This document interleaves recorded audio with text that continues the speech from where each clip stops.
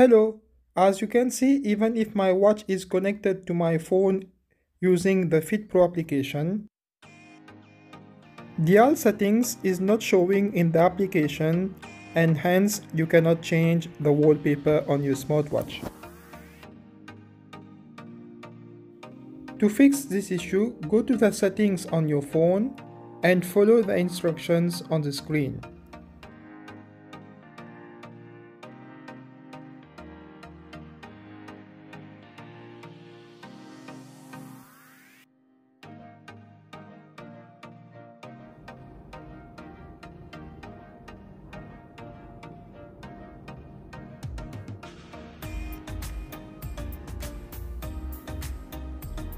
Next step, you will need to reset your smartwatch. Depending on the brand and model of your smartwatch, the steps to reset your smartwatch can be different. If you don't know how to proceed, leave a comment with your smartwatch model and I will guide you.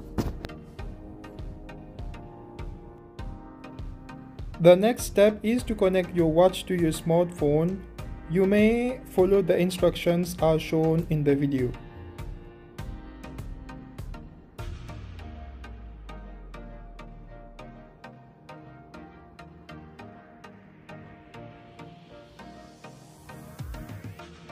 As you can see, now I have dial settings in my application, so the issue has been solved. Thank you for watching this video and please subscribe to my channel.